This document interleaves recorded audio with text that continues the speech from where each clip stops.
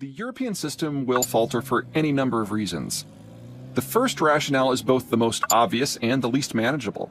Europe's baby bust started before Asia's, with the Europeans passing the point of demographic no return even before the new millennium. Belgium, Germany, Italy, and Austria will all age into mass retirement in the first half of the 2020s, while nearly every country in a Central European line from Estonia to Bulgaria is aging even faster and will age out in the second half. Even worse, demographics alone ensure that Europe as we know it will collapse on a similar time schedule. When the Central European states joined the EU in the 2000s, they succeeded in convincing the Western Europeans to open their labor markets. Some one fourth to one third of the young worker population of the Central European region decamped for better personal economic prospects to the West. Western Europe's demographic figures are far worse than they actually appear.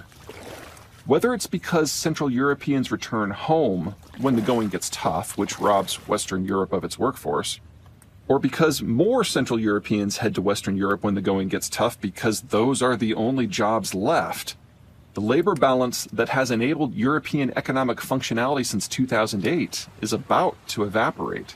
The demographic problem haunts in a second way. Europe has aged to the point that it cannot absorb its own products. Europe must maintain a high level of exports to maintain its system.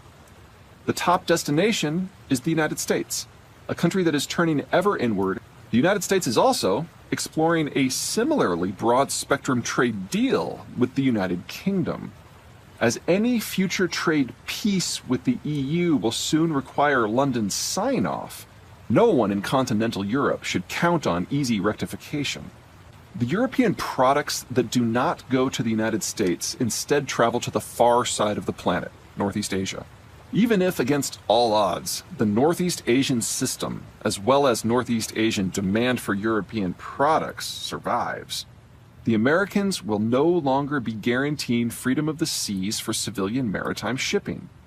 The route from Shanghai to Hamburg is a breezy 12,000 nautical miles. At the zippy 17 miles per hour that modern container ships typically sail at, that's a cool 35 day trip. The fastest any commercial cargo vessel can sail is 25 knots. That's still three full weeks, a lot of time to spend sailing through waters infested with pirates, privateers, hostile navies, or some combination of the three. Perhaps even worse, the part of Europe that maintains the most robust trade relationship with the Chinese is Germany. German product sales to China skew very heavily in the direction of machinery used to make other products, products for export. Even if, against all odds, Germany and China can maintain a trade relationship in a world where they lack the strategic reach to interact directly, Chinese exports will not be nearly as needed, undermining the base rationale for any sort of German Chinese interaction. The same broad strategic issues that face the Asians also face the Europeans, although those particular problems are of less or more concern depending upon location and perspective. Most European countries started industrializing in the 1800s, with even the laggards, largely the former Soviet satellite states, beginning at the latest in the 1950s. That means most mines in Europe have been tapped out for at least a few decades. The Europeans, having been industrialized for at minimum a couple of generations, may not consume as many materials as the Asians, but they produce even fewer. The Chinese might import the vast majority of the materials they need, but typically, the Europeans must import them all. Most of the industrial commodities required for modern life come from locations far closer to Europe than East Asia, such as the Western Hemisphere and Africa. Several European countries, France and the United Kingdom come to mind, but so too do Spain, the Netherlands, Italy, and Denmark, have sufficient naval capacity to protect occasional shipping to and from the locations in question. Just as good, most sailings from these regions to Europe are unlikely to pass through any particularly contested waters. As to Western Hemispheric sourcing, the Americans are certain to put the kibosh on any sort of piracy or privateering in their hemisphere, and European commerce is unlikely to be barred so long as it remains unmilitarized. The trick will come from those European countries farther removed from the continent's far west, who lack both access and naval forces. They must source materials from a different, close location Russia. Germany cannot maintain its position as a wealthy and free nation without the Americans.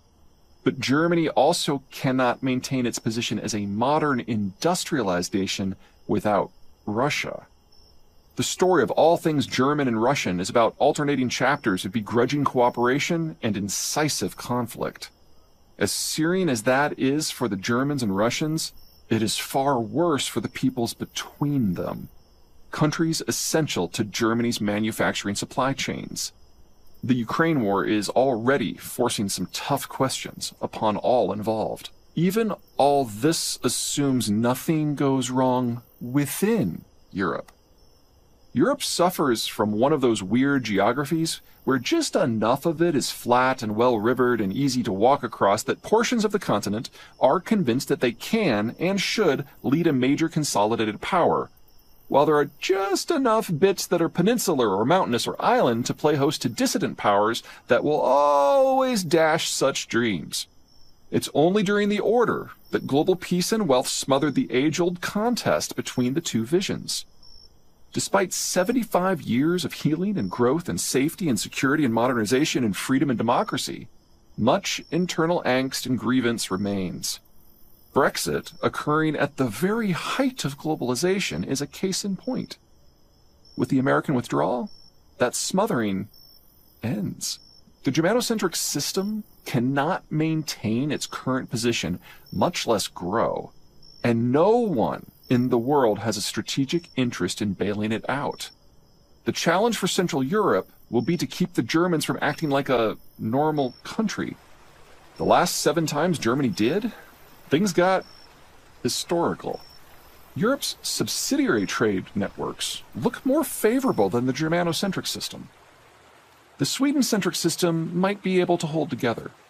Northern Europe's supply chains are less exposed to potential threats, its energy supplies are more local, and its demographics are less aged and slower aging, suggesting a better match between supply and demand that would limit the need for extra regional imports and exports in the first place. In the North Sea, the Scandinavians even have sufficient oil and natural gas to meet nearly all their demand. All they need to do is somehow source the various industrial inputs they need from a continent away they have two options.